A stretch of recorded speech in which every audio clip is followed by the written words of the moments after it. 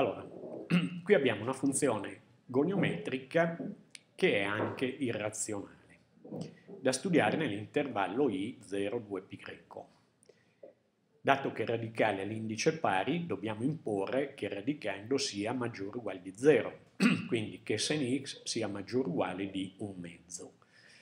Nel grafico che vedete lì a fianco e ho risolto la disequazione tracciando la sinusoide e la retta y uguale a un mezzo. Le due linee si intersecano nei punti di ascisse Pireco mezzi, 5 sesti Pireco, Pireco sesti 5 sesti pi greco. Quindi la disequazione è soddisfatta tra pi greco sesti e 5 sesti pi greco estremi inclusi. E quello è il dominio della nostra funzione. Poi, controllando eventuali simmetrie, vedete i calcoli, si conclude che non è né pari né dispari. Non abbiamo intersezione con l'asse delle y, perché x uguale a 0 non appartiene al dominio mentre le intersezioni con l'asse x le abbiamo nei due punti di coordinate greco sesti 0 e 5 sesti π greco 0. Lo studio del segno non è neanche necessario, perché? Perché la funzione è un radicale con l'indice pari, quindi ove esiste, cioè nel suo dominio, non è mai negativa. Passiamo alla ricerca di massimi e minimi relativi vedete la derivata prima, cosn x fratto la radice quadrata di 2 sen x meno 1, ma la radice quadrata di 2 sen x meno 1 è la nostra funzione y, quindi possiamo scrivere cosn x fratto y. E dato che y nel dominio è maggiore o uguale di 0, ovviamente l'uguale a 0 adesso non è accettabile perché sta a denominatore y, è sufficiente però studiare la positività del numeratore e si trova che il coseno è positivo tra 0 e pi greco mezzi. Quindi il punto di coordinate pi greco mezzi e 1 è un massimo relativo.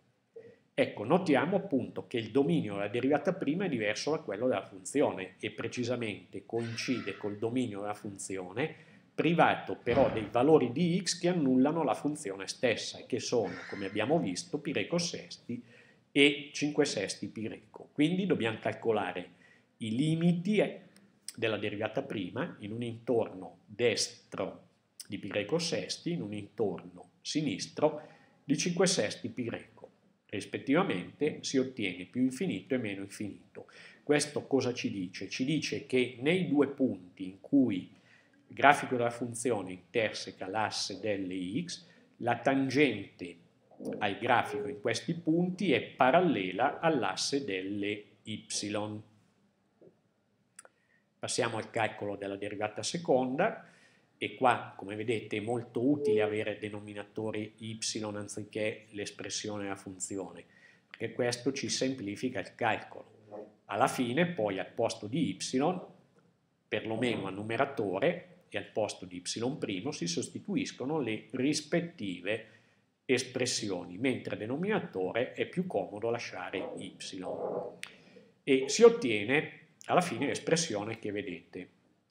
Dato che y non è mai negativa nel suo insieme di definizione, per studiare il segno, in particolare la positività della derivata prima, è sufficiente studiare la negatività dell'espressione dentro la parentesi quadrata perché davanti a essa c'è un meno.